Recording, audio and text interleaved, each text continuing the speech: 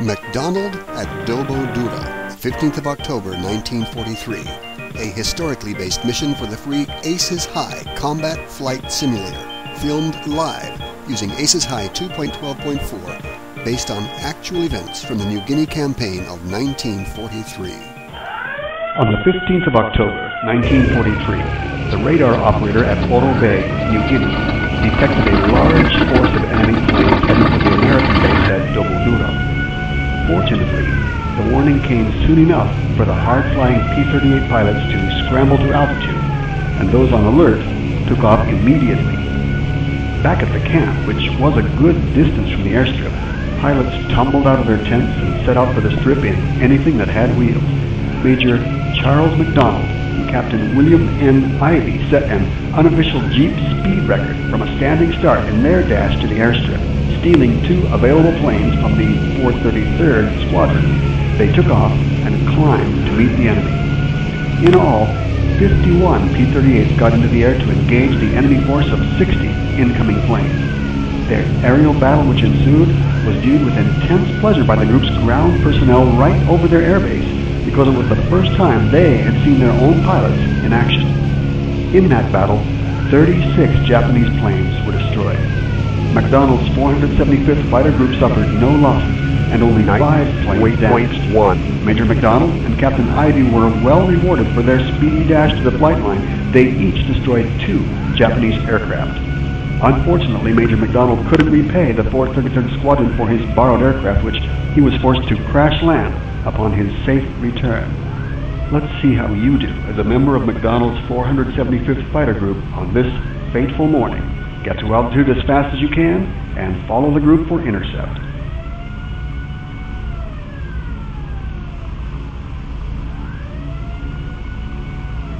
Oro oh Bay Radar, Oro oh Bay Radar, this is MacDonald. Can you give us an update on those bogies, please? Roger, Major MacDonald. This is Night Oro oh Bay Radar. waypoint I have a large blip coming in from the north. Right now, it's about uh, 1 o'clock from your position, about 1 o'clock from Dobodura, range 75 miles. Night Headed directly waypoint south. three. Repeat, 1 o'clock from Dobodura, 75 miles. Roger, Oro Bay, have you? We have one set, large set of bandits coming in from the north, 1 o'clock to our Night position, 75 waypoint miles four. out. We're going to climb to intercept. Everybody stay with me. I suggest we climb uh, north. We'll try to loop up, get above them, and loop up behind them and catch them on the inbound.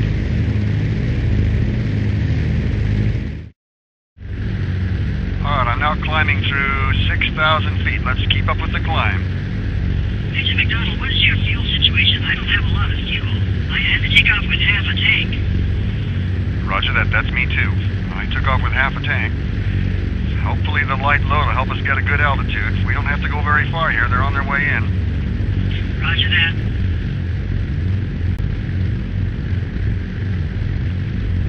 Oro Bay, this is MacDonald again. Oro Bay, this is MacDonald. Can you update the position on those bogies?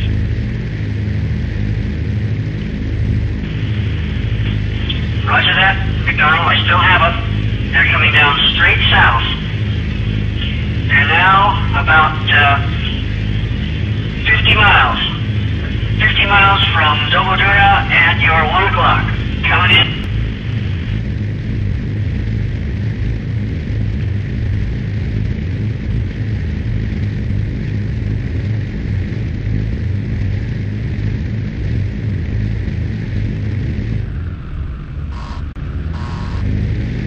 Nights, waypoint 6.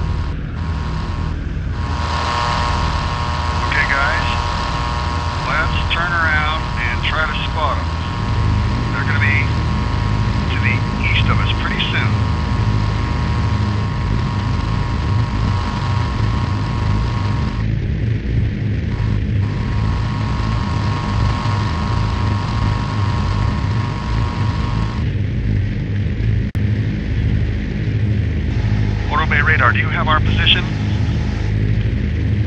Roger that. We see you. You are at 2 o'clock from Dobodura, about 15 or 16 miles out. You should see the bandits ahead of you now? Off to the east.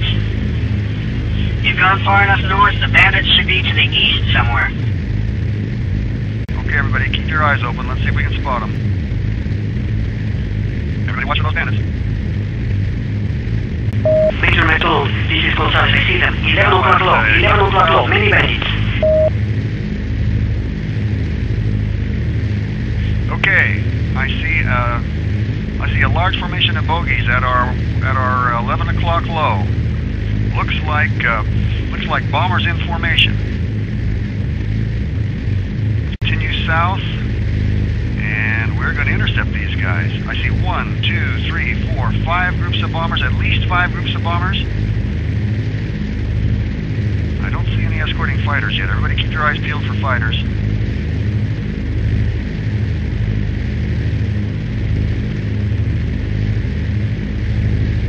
Fighters have got to be around here someplace. Everybody look up. Watch for them. I don't see them. Let's go in. Fighters are not here. Let's not wait. Oh, okay. See, I see the fighters coming in at a distance. We got a clear pass at the bombers. Let's take a few shots.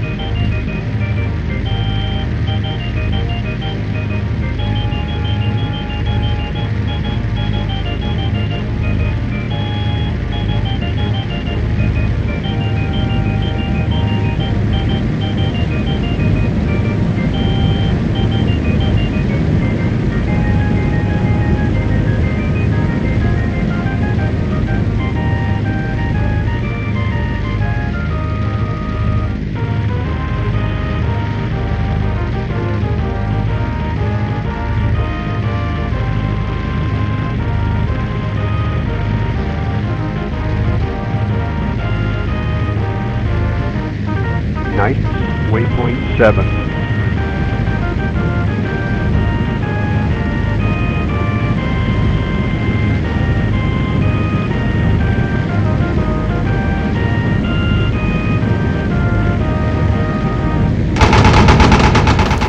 Incidentally, Major MacDonald survived the battle and the war and became the third highest ranking American ace in the Pacific Theater.